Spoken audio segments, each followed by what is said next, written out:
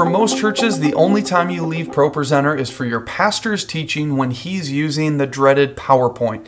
And the only reason he's using PowerPoint is so he can get bullet point reveals and underlines. Well, now in ProPresenter, we have the ability, so let's check this out.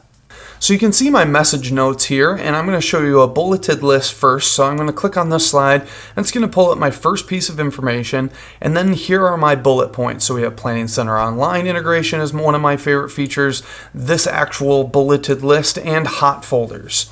Now here's what uh, the underline feature looks like and you can see we click the slide and we see a blank first, your belief shape your blank and we uh, click again and we get attitudes.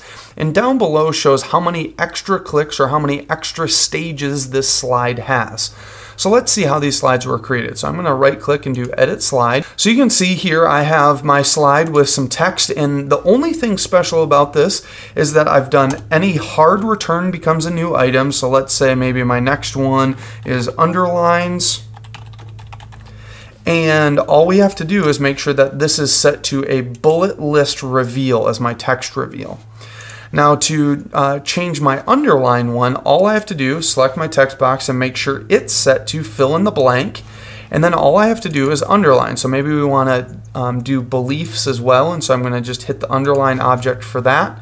And let's close this out and we can check out our first slide here, so my favorite new features, and you'll see now we have multiple new features, so we have that fourth feature is automatically added in of underlines. We go to our next slide, and now we have two different underlines. We have beliefs and attitudes.